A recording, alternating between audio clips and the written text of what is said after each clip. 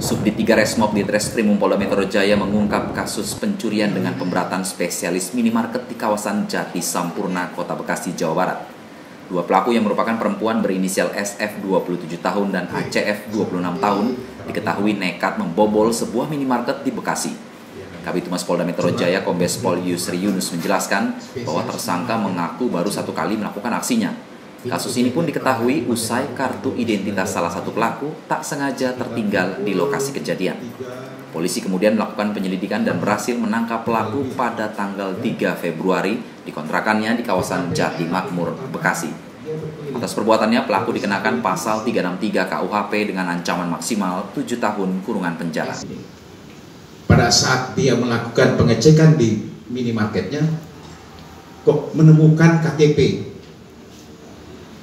KTP yang kemudian dilaporkan kepada kepolisian. Dari KTP itu kemudian penyidik melakukan penyelidikan.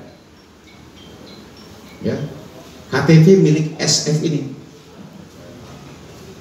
Dari situ kemudian melakukan penyelidikan dan berhasil melakukan penangkapan terhadap tersangka di rumah kontrakannya di daerah daerah Jati Makmur Kota Bekasi. Ya pada saat itu saya ulangi lagi. Ya. Dari Jakarta, Sidik dan Anti melaporkan. Ya, untuk menyamarkan diri. Ini yang menggunakan